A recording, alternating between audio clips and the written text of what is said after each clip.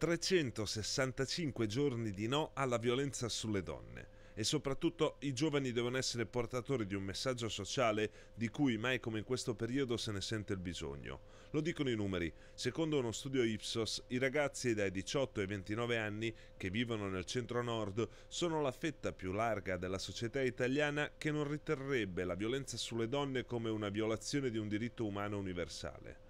Sono aumentate poi del 7% le donne prese in carico dai centri antiviolenza. Il fenomeno non è assolutamente in calo, ha detto Paola Castagnotto, presidente del Centro Donne Giustizia, e noi intercettiamo solo il 10% delle donne che subiscono violenza è il quadro tratteggiato dalla Presidente nel corso del convegno in cui è stato presentato all'Istituto Alberghiero Orio Vergani il calendario con cui si vogliono sensibilizzare quotidianamente le persone che lo esporranno in casa, negli uffici e nelle scuole.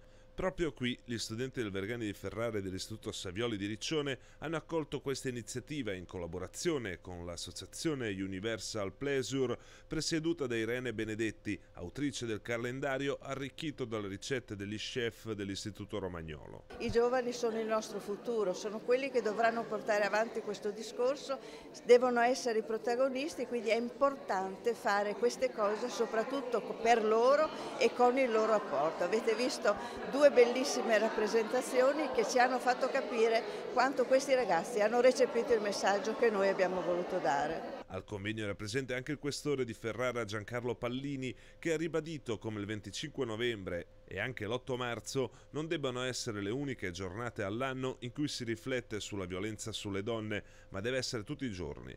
Per l'occasione al Vergani c'era un menù speciale. Sono tutte chef donna, anche il maître donna e hanno preparato alcune ricette che si sono su questo calendario, che sono ricette romagnole perché vengono da Rimini Riccione, con alcune nostre ricette che abbiamo nei libri che abbiamo anche noi eh, pubblicato e queste sono tipicamente ferraresi. Sono diciamo tutte le ricette che in questi quattro anni in cui io sono stata in Europa come rappresentante italiana ho portato ovunque, ho cercato di far conoscere l'Emilia Romagna in tutta l'Europa.